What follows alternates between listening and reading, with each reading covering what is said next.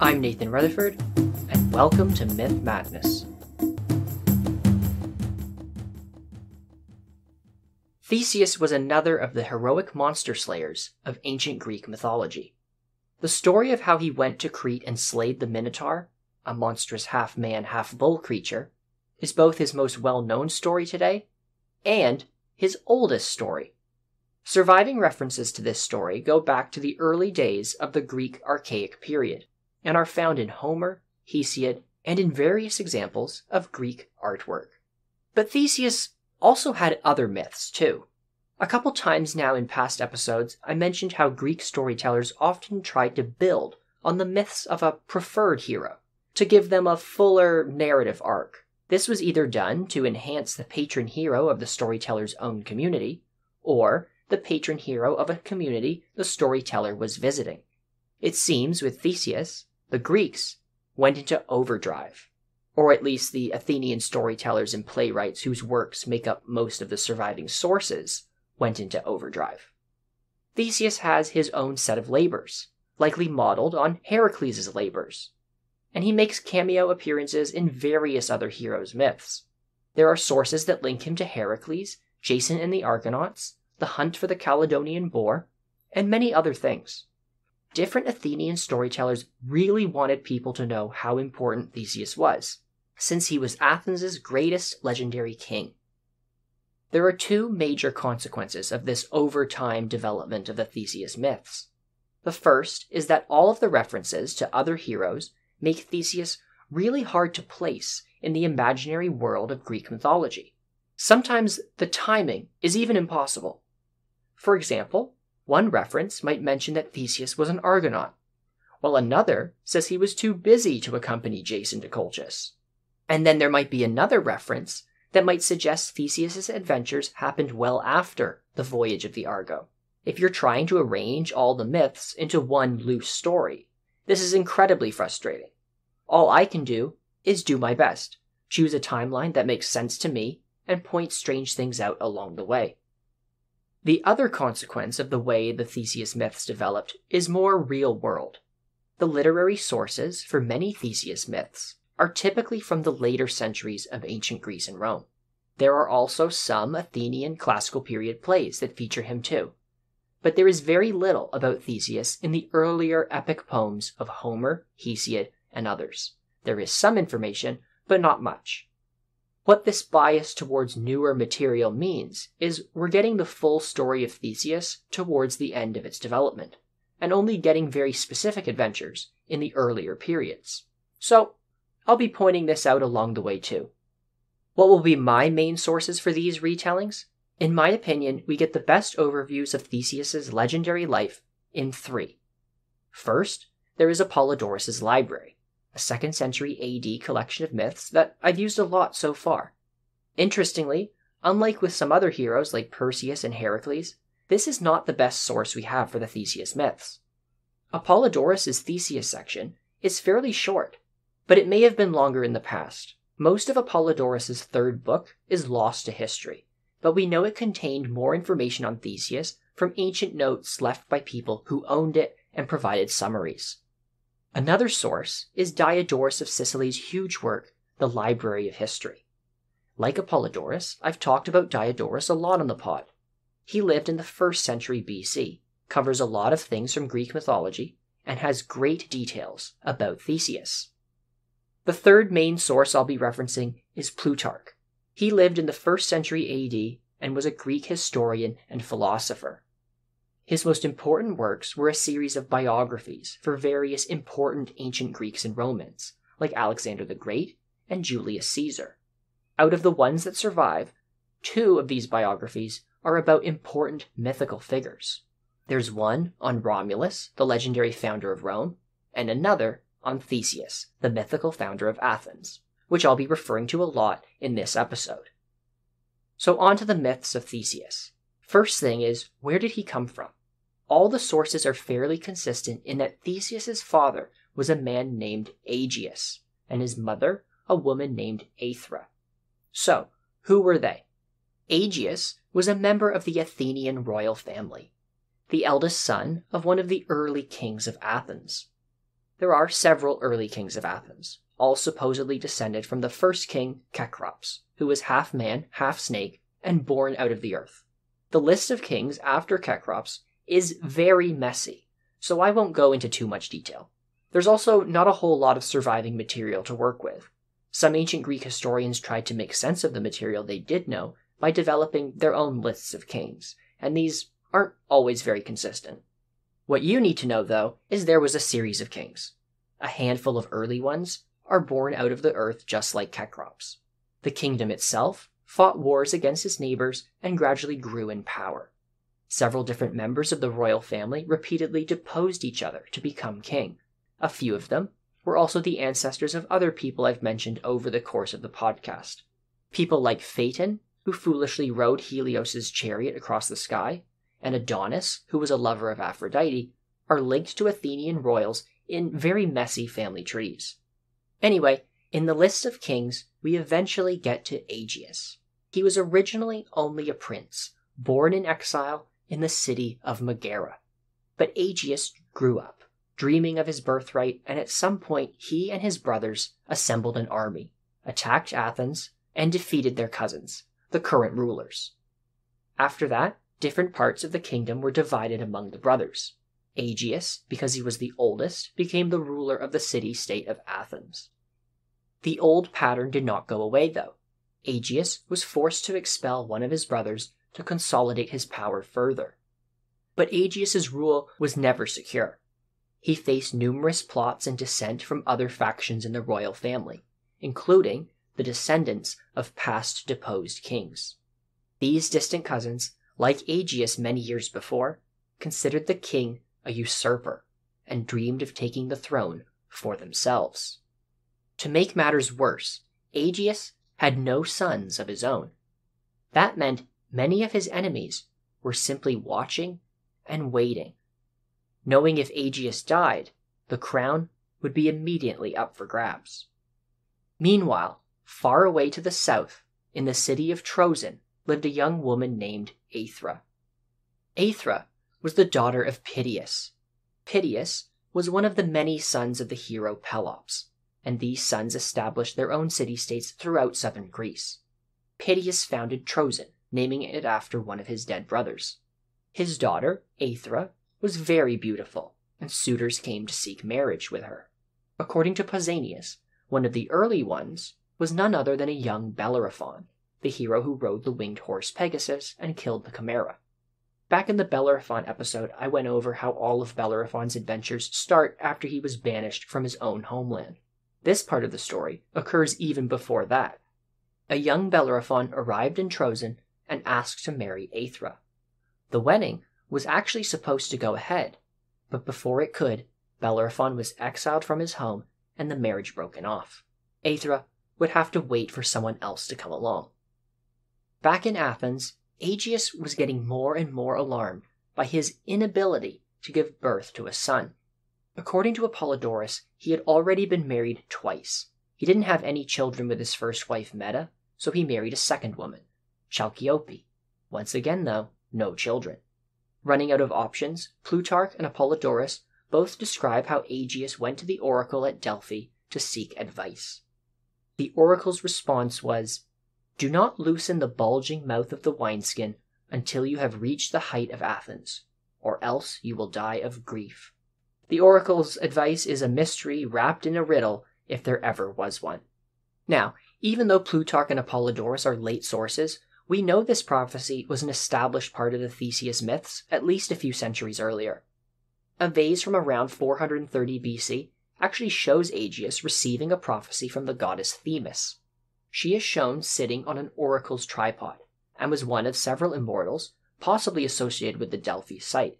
In literature, also from around 430 BC, there's also Euripides' Medea play. The play centers on the witch Medea after she comes to Greece with the Argonauts and ends up in Corinth. But in one scene, Aegeus stops in Corinth on his way back from Delphi. He was apparently a friend of Medea's, and he asked her for help deciphering the mysterious instructions to not spill life's wine until reaching his ancestral home. Medea does not actually give Aegeus a straight answer, and it is only in this Euripides play that involves Medea even giving advice on the prophecy. Apollodorus, Plutarch, and even Euripides in the same play also have Aegeus eventually travel to Troezen to get Pittheus's advice about the oracle's riddle. Why Pittheus? Well, he was the cleverest of all the sons of Pelops. He had a reputation for wisdom and for knowing all sorts of ancient lore about the land. Aegeus figured Pittheus, of all people, should be able to help him out. When Aegeus arrived, he was welcomed and told Pittheus what the oracle said. Something about not spilling life's wine or opening up his wineskin before he returned home, or he would die of grief. As Aegeus hoped, Pittheus did understand what was meant that Aegeus shouldn't spill his wine. In other words, have sex and, you know, spill his wine until he got back home to Athens.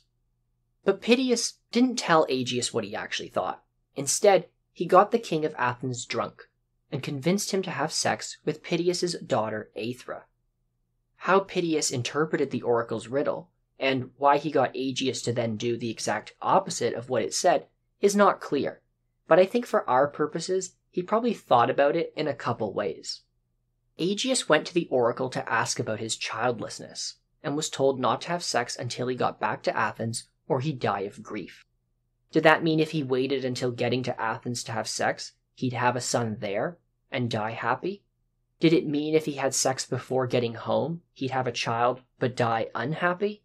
If you assume any child of Aegeus would cause him to die unhappy, did it mean he had to have sex before getting to Athens to even have a child? As you can tell, there's a number of different possible interpretations, depending on how you read the statement.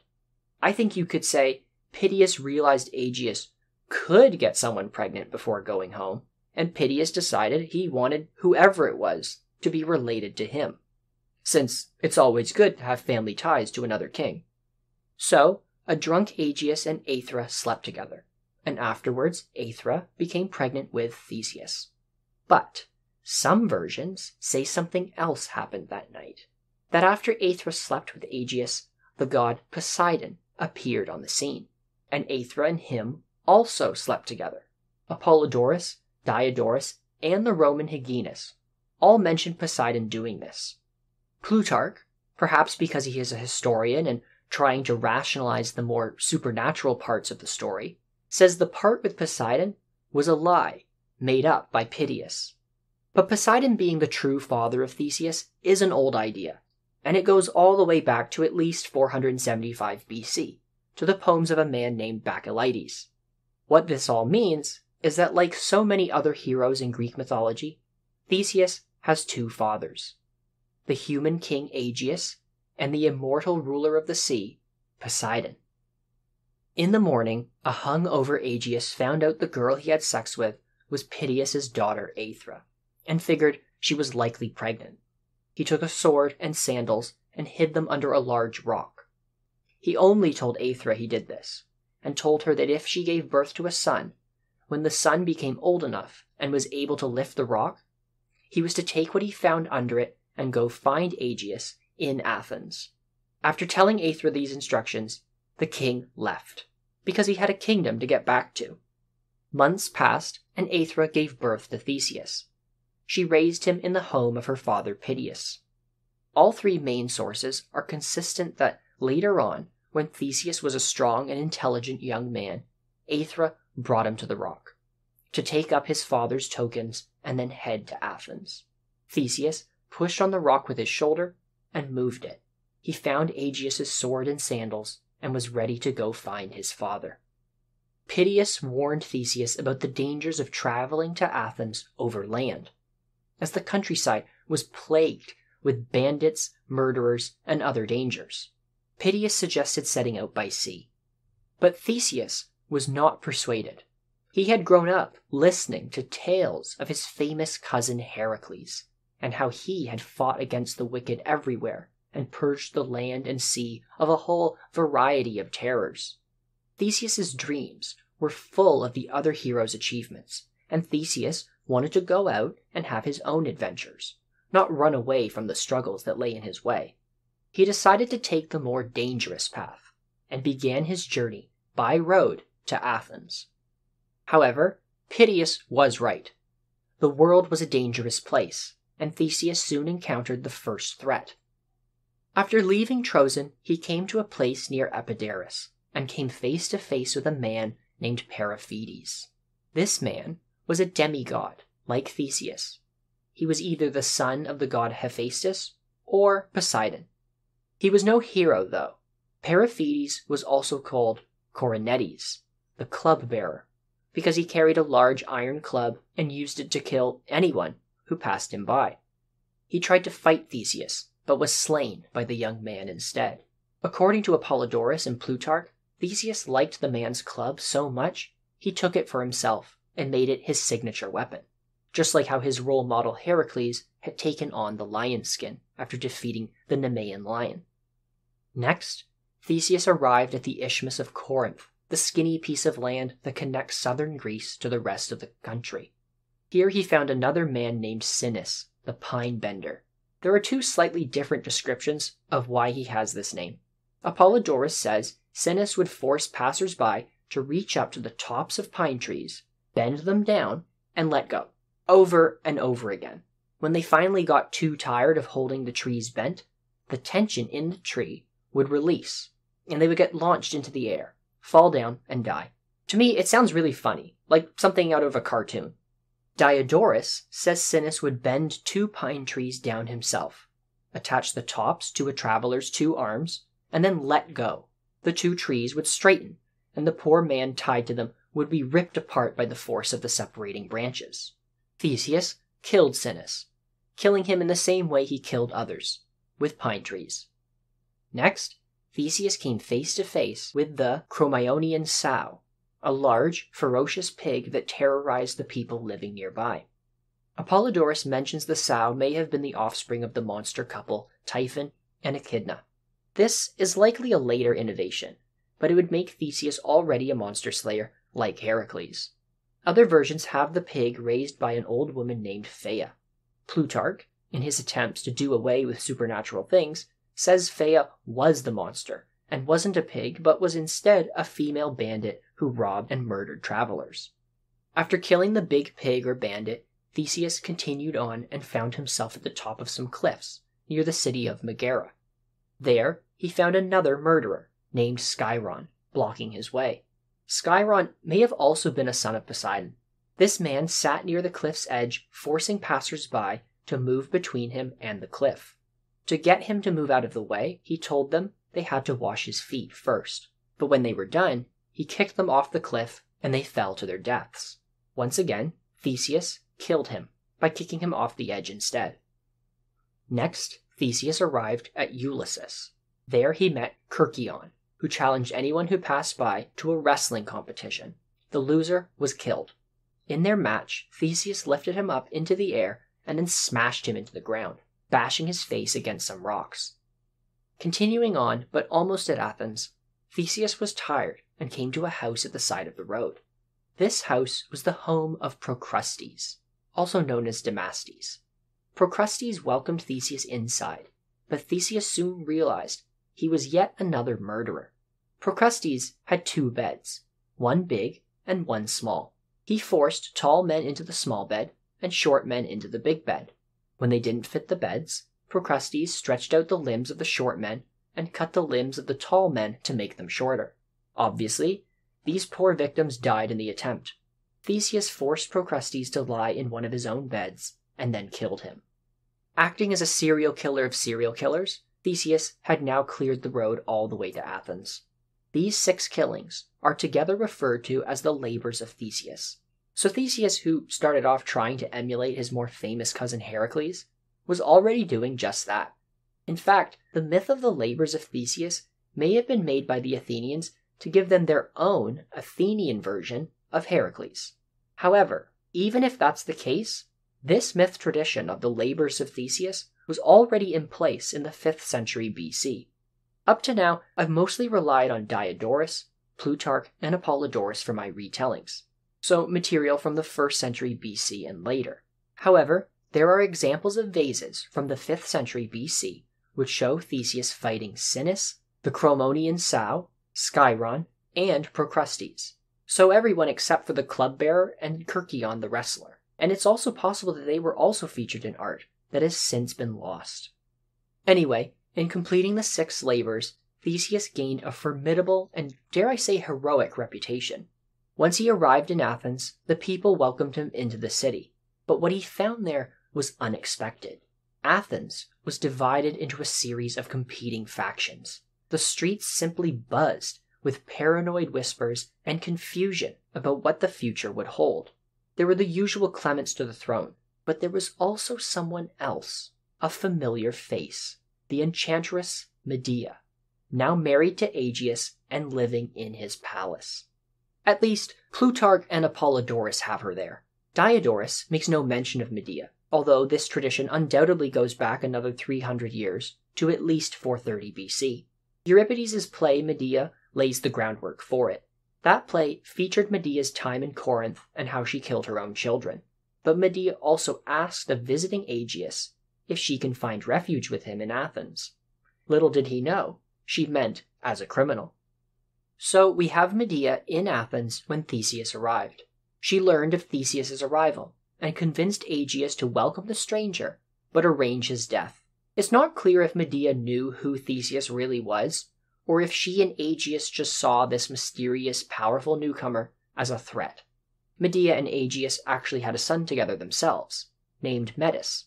This fact also suggests the presence of Medea in Athens developed no earlier than the classical period. While Metis is her son with Aegeus in many of the later sources of Greek mythology, the same son is also mentioned hundreds of years earlier in Hesiod's Theogony, but as a son of Medea and Jason. So, it would seem when Medea was incorporated into the Athenian stories about Theseus, there was also a switch made about who Metis's father was. Additionally, the earliest source we have for Medea wanting to kill Theseus comes from the Hellenistic poet Callimachus in the 3rd century BC. But once again, Euripides, this time in a lost play, may have laid the groundwork for it in the 5th century BC. So, just to summarize how that may have went, in the 7th century BC, Hesiod has Medea and Jason be the parents of Metis. In the 5th century BC, Euripides has Medea ask Aegeus if she can live in Athens, implying that there was a tradition where she was already thought to have moved there after Corinth. Around the same time, Euripides and another man named Sophocles both wrote plays called Aegeus. Both these plays are lost, but they may have told how Medea came to Athens and tried to kill Theseus. In the first century BC, Callimachus gives us the oldest surviving proof that Medea tried to have Theseus killed but Diodorus doesn't mention it. In following centuries, most sources have Medea in Athens. Metis is her son with Aegeus, and she does try to kill Theseus. So, how does she try and kill this champion of six labors? Well, once again, Theseus was sent to kill something else. This time, he was directed to hunt down and slay the Marathonian bull. Like many of the creatures killed by Greek heroes, this bull was fierce and aggressive and traumatized the people living in the countryside around Athens.